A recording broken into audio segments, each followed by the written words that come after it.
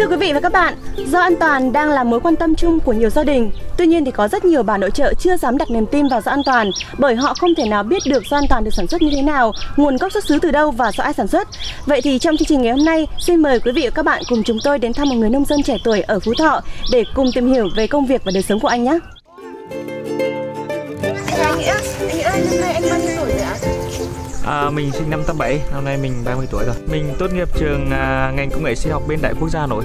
Thì cái mô hình hợp tác xã nó cũng đã bắt đầu nhen nhóm từ cái giai đoạn mà mình đã bắt đầu đi học và mình cũng muốn là có làm một điều gì đó để cống hiến cho quê hương. Ở giai đoạn này là một cái giai đoạn mà thực sự một cái cơ hội của hợp tác xã à, nhu cầu về rau an toàn rau sạch hiện nay thì nó cần thiết hơn bao giờ hết trên cánh đồng này thì rất là sạch sẽ, mọi người cũng ý thức rất là cao trong việc là bảo vệ môi trường Hợp tác xã rau an toàn của chúng tôi hiện tại là có 71 thành viên thì đang ờ, ờ, sản xuất rau theo ờ, chương trình GAP cơ bản.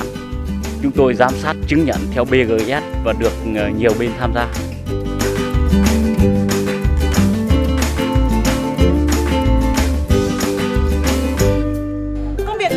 Rau được bắt đầu từ lúc 5 giờ sáng hàng ngày để kịp thời chuyển rau đến nội thành Hà Nội.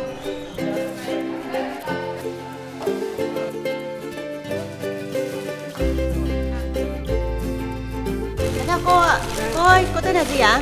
tên là Nguyễn Thị Đào, Năm nay cô bao nhiêu tuổi rồi ạ? cũng 52 tuổi rồi. À thế ạ.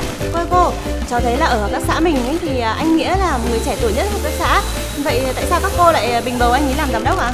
À, bởi vì là anh rất là nhiệt tình để cho bà con giúp đỡ bà con để mà làm rau để bán được các siêu thị lớn như Hà Nội ấy.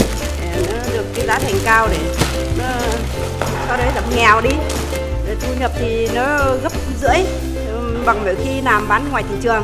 Thế mà nó có cái vất vả hơn là để làm cái gì nó phải theo quy trình từ phân ra cho đến cái thuốc thang người ta rất là hạn chế đấy mà phù thì đấy có nên là thôi mệt đến đâu cũng khắc phục phải cố gắng làm mới đây chúng tôi đã được bên Vineco đánh giá là nhà cung cấp ưu tú và hiện nay hợp tác xã rau an toàn tư xã cũng đang liên kết với một số cái hệ thống siêu thị và cửa hàng dưới Hà Nội để à, kết hợp làm ăn lâu dài. Trên tay tôi đang là một gói rau an toàn và thành phẩm sau khi gói rau an toàn đã được đóng gói sạch sẽ thì sẽ được dán tem nhãn với đầy đủ thông tin về địa chỉ nơi sản xuất này cũng như là số điện thoại. Sau khi những gói rau này được đóng gói rồi sẽ được chuyển lên xe và vận chuyển tới các siêu thị và cửa hàng trên địa bàn Hà Nội để bày bán. Đã từng được đến Vương quốc Bỉ để cùng học hỏi và chia sẻ về kinh nghiệm nông nghiệp với các nông dân trên thế giới.